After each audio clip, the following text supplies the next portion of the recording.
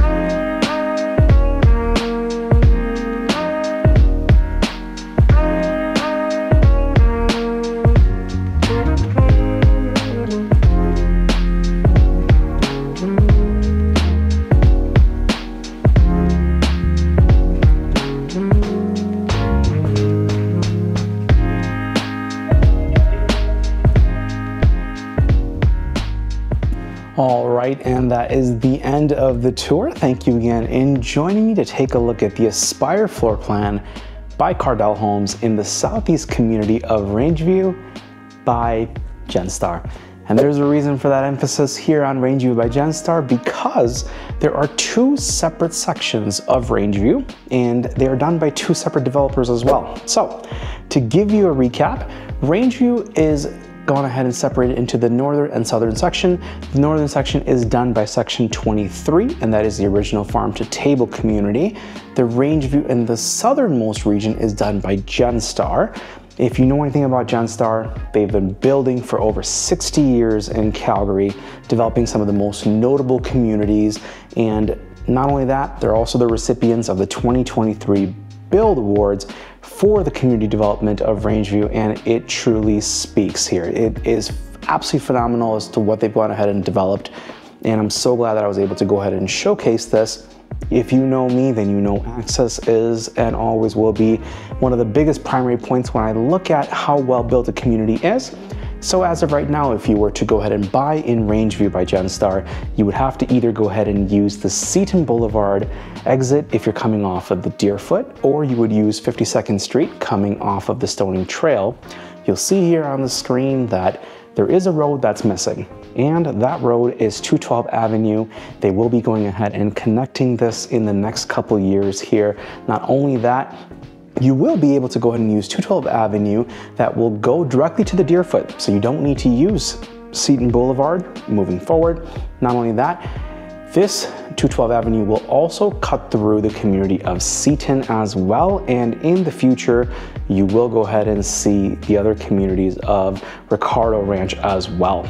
Now, as far as Cardel is concerned, I love the fact that they're down here. If you've been around here for a while, you know that Cardel is one of the builders that I went ahead and featured first on my channel back in October of 2023. And the fact that they've come in here and they have truly blown it out of the water with the Aspire, it just, it, it truly shows. And as you go ahead and you take a look at this place, you can see the attention to detail wherever you go. The upgrades in this show home are galore. You've got, I'm standing on $35,000 of upgrades as we speak, as there's pure hardwood floors throughout and it looks so spectacular. Not only that, you've got a perfect little nook here for the butler's pantry. You've got the fact that you've got a beautiful office space here. You've got the wood slats here as you go around. I just love the accents throughout this home, the vaulted bonus room upstairs and as sitting on a walkout lot here, it is absolutely spectacular to see the development that they've gone ahead and done.